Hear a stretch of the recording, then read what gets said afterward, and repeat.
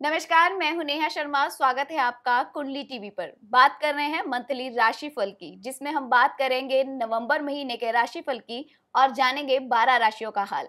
इन सब की जानकारी देने के लिए हमारे साथ जुड़े हुए हैं कुंडली टीवी के एडिटर नरेश कुमार जी।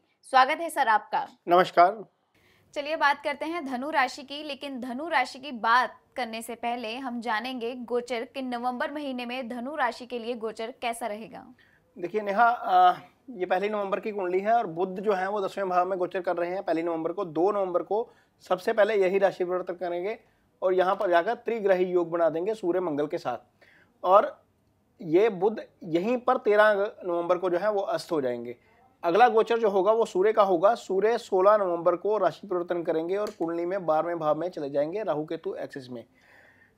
ये महीने का दूसरा गोचर होगा। तीसरा गोचर जो होगा, वो होगा गुरु का। गुरु जो है, वो दूसरे भाव में गोचर कर रहे हैं। गुरु यहाँ से निकलेंगे और यहाँ पर 21 नवंबर को गोचर करके तीसरे भाव में गोचर करना शुरू कर देंगे और ये स्थिति कुछ इस तरह के हो जाएगी। गुरु का दूसरे गोचर अच्छा होता है, तीसरा गोचर गुरु का अच्छा नहीं होता। मंगल इसी तारीख को 21 नवंबर को ही अस्त अवस्था से उदयवस्था में आ जाएँगे। ये स्थिति एक तरीके से अच्छी हो जाएगी क्योंकि मंगल यहाँ पर पंचम के मालिक हैं। पंचम के मालिक का अस्त होना अच्छा नहीं था, उदय हो जाएँगे तो अच्छी चीज़ हो जाएगी।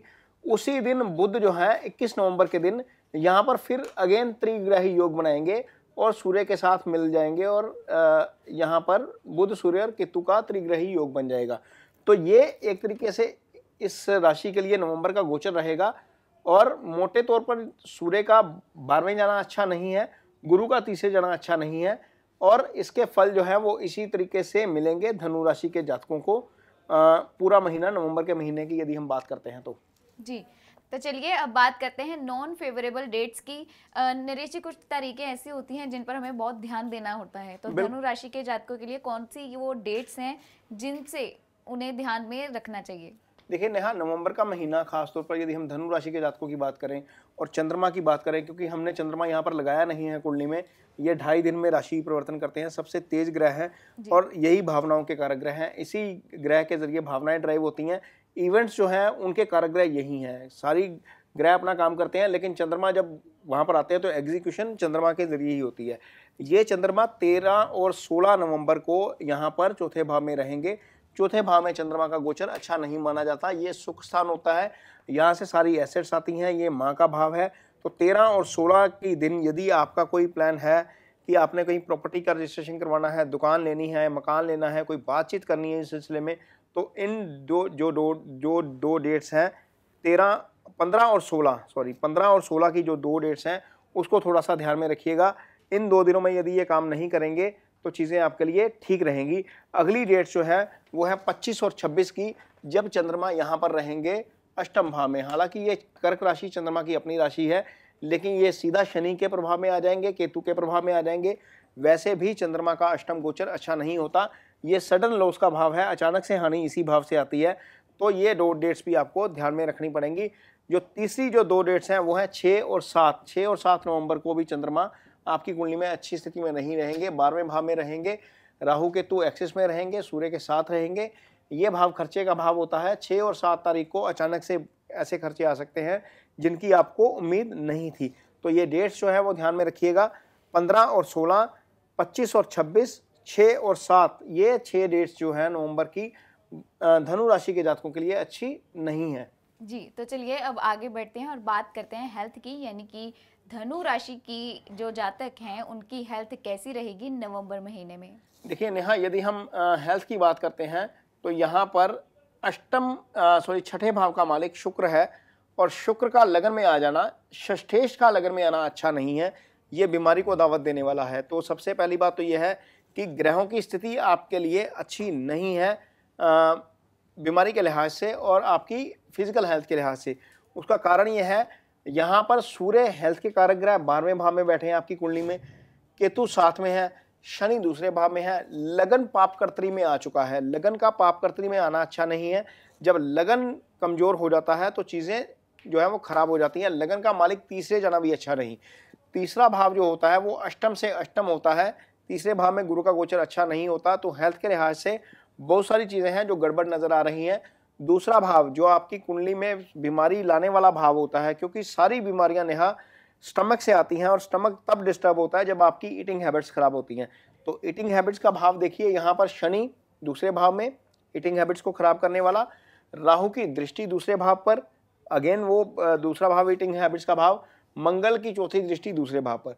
तो फेस्टिवल सीज़न चल रहा है, थोड़ा सा ज़ुबान के ऊपर स्वाद लेने के लिए थोड़ा सा नियंत्रण रखना पड़ेगा चीज़ें बाहर की खाओगे तो गड़बड़ हो जाएगी, क्योंकि जब फेस्टिवल सीज़न आता है तो हम देखते हैं कि थोक में सामान बिक रहा है अच्छा भी बिक रहा है और बुरा भी बिक रहा है। तो वो आपको आइडेंटिफाई करना है कि आप क्वालिटी प्रोडक्ट कंज्यूम करिए, आप चीज़ें अच्छी खाइए, घर पे बनी खाइए और थोड़ी सी स्वाद के चलते चलते ज़्यादा मत खा लीजिएगा, नहीं तो बीमारी सामने खड़ी नज़र आ रही है कुंडली में।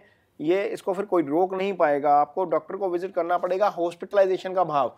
ये बारहवां भाव है, सूर्य और केतु यहाँ पर। और यहाँ पर राहु, और केतु इस भाव को भी देख रहे हैं, शनि इस भाव को भी देख रहे हैं। तो ये लंबी बीमारी का भाव होता है। कहीं ये ना हो कि बीमारी थोड़ी सी लंबी ही खिंच जाए। तो स्वाद को, स्वाद लेना है, लेकिन नियंत्रण में रहकर लेना है, नहीं तो चीज़ें दिक्कत वाली हैं, सामने नज़र आ रहा है। जी तो चलिए अब बात करते हैं फाइनेंस की। धनु राशि के जातकों का फाइनेंस नवंबर महीने में कैसा रहेगा? देखिए, यहाँ पैसे के लिहाज से चीज़ें ठीक रहेंगी, कोई दिक्कत वाली बात बहुत ज़्यादा नज़र नहीं आ रही है यहाँ पर। कारण यह है कि गुरु भले ही तीसरे हैं, लेकिन गुरु ग्यारहवें को देखना शुरू कर देंगे। ये आय का भाव है, धन भाव के स्वामी धन भाव में ही रहेंगे, वहाँ पर अकेले रहेंगे। जिस भाव में शनि होते हैं, उस भाव को मजबूती देते हैं। तो धन भाव को मजबूती है, आय भाव के ऊपर गुरु की दृष्टि है। तो पैसे के लिहाज से चीज़ें अच्छी हैं, मंगल भी यहाँ पर अच्छे बल में होते हैं, यहाँ पर दिग्बली पूर्ण हो जाते हैं। लेकिन मंगल का ग्यारहवें गोचर अच्छा है। यहाँ पर रहकर अस्त स्थिति से बाहर आएँगे। पंचम के मालिक हैं इजी गेंस को जो है वो आपके बढ़ाएँगे। आपके पैसे रुके हुए वापस आ जाएँगे। यदि आप इन्वेस्ट करते हैं तो इन्वेस्टमेंट के लिहाज से चीज़ें ठीक हो जाएँगी। हालाँकि स्पेकुलेशन में मत जाइएगा, क्योंकि इन्वेस्टमेंट में और स्पेकुलेशन में फ़र्क होता है। नेहा, बहुत सारे लोग जो हैं, वो इस चीज़ को डिफ्रेंशिएट नहीं कर पाते कि शेयर मार्केट में निवेश करना है या स्पेकुलेट करना है। कुछ लोग जो साल भर के लिए, दो साल भर के लिए, तीन साल भर के लिए पैसा लगाते हैं, उसको इन्वेस्टमेंट बोला जाता है, जो इंट्रा ट्रेडिंग में जाते हैं, निफ्टी में खेलते हैं फ्यूचर एंड ऑप्शन में कारोबार करते हैं, वो स्पेकुलेशन है। बिटकॉइन पूरे तौर पर स्पेकुलेशन है। वो काम मत करिएगा, ये भाव खराब है, पैसा डूब जाएगा आपका। तो ये स्थिति थोड़ी सी अच्छी नहीं है। हालाँकि आय के लिहाज से चीज़ें अच्छी हैं। जी। तो चलिए अब बात करते हैं इनके रिश्तों की यानी कि धनु राशि के जातकों के रिश्ते नवंबर महीने में कैसे रहेंगे? देखिए नेहा शादीशुदा कपल्स के लिए तो बहुत अच्छी स्थिति है। हालाँकि जितने भी आ, हमने राशियाँ अभी तक देखी हैं वहाँ पर चीज़ें अच्छी नहीं थी। लेकिन यहाँ पर शुक्र रोमांस के काराग्रह शादी का काराग्रह सीधा सप्तम को देख रहे हैं गुरु सप्तम को देख रहे हैं। जब दो अच्छे ग्रहों का प्रभाव सप्तम पर होता है तो चीज़ें काफ़ी अच्छी हो जाती हैं। हालाँकि इस भाव के मालिक का छठे में जाना अपने से छठे में जाना और लगन से बारहवें जाना अच्छा नहीं है। लेकिन चूँकि दो अच्छे ग्रह देख रहे हैं तो शादीशुदा कपल्स के लिए स्थिति अच्छी है। हो सकता है कि आपको आ, में जो अंडरस्टैंडिंग मिसअंडरस्टैंडिंग हो रही थी वो थोड़ी सी अच्छी हो जाए। उसका एक कारण ये भी है नेहा क्योंकि शुक्र और गुरु दोनों इस भाव को शुभ कर्तरी में ले रहे हैं। एक पाप कर्तरी होता है एक शुभ कर्तरी होता है तो वो भाव कुटुंब का भाव है। तो यदि आपकी अंडरस्टैंडिंग में कमी आ रही थी तालमेल में कमी आ रही थी कुटुंब में कोई समस्या आ रही थी पारिवारिक समस्या थी रिलेशनशिप को लेकर तो वो चीज़ें अब ठीक होनी शुरू हो जाएँगी क्योंकि दूसरा भाव शुभ कर्तरी में है सप्तम के ऊपर शुभ प्रभाव आ रहा है। जी तो चलिए अब जानते हैं उपाय कि जो। धनु राशि के जातक हैं क्या उपाय कर सकते हैं? नेहा धनु राशि के जातकों के लिए पक्के उपाय के तौर के ऊपर गुरु का ही उपाय है क्योंकि गुरु यहाँ पर ना सिर्फ़ लगन का मालिक है बल्कि सुख स्थान का भी मालिक है। आपको ज़िंदगी में जितने भी सुख आएँगे, चाहे वो आय का सुख है, चाहे वो एसेट का सुख है, गाड़ी का सुख है, संतान का सुख है, सारे सुख आपको गुरु से आएँगे, क्योंकि गुरु लगन का भी मालिक है, चौथे भाव का भी मालिक है। तो गुरु के उपाय के तौर के ऊपर आप किसी एक बच्चे की एजुकेशन को स्पॉन्सर करिए। यदि आप फाइनेंशियली सपोर्ट कर सकते हैं किसी को एजुकेशन के लिए, चाहे आप स्टेशनरी के रूप में आप उसकी मदद करें, चाहे आप उसको फ़ीस के रूप में मदद करें, जो बच्चा अफोर्ड नहीं कर सकता, लेकिन पढ़ना चाहता है उसको आप थोड़ी सी मदद करेंगे तो आपका गुरु निश्चित तौर पर अच्छा होगा आपको गुरु के अच्छे फल मिलेंगे। दूसरा उपाय जो आपका गुरु का कर सकते हैं आ, आपका कोई भी शिक्षक यदि आपको मिलता है तो उसको रिस्पेक्ट करिए। कई स्टूडेंट्स मैंने नेहा ऐसे देखे हैं जो बाद में टीचर्स का मज़ाक उड़ाते हैं तो वो नहीं करना है उससे गुरु खराब होगा। आपको गुरु मिलते हैं आपके टीचर्स मिलते हैं तो उनकी रिस्पेक्ट करिए जितने वो आपसे खुश रहेंगे उतना आपका गुरु अच्छा रहेगा।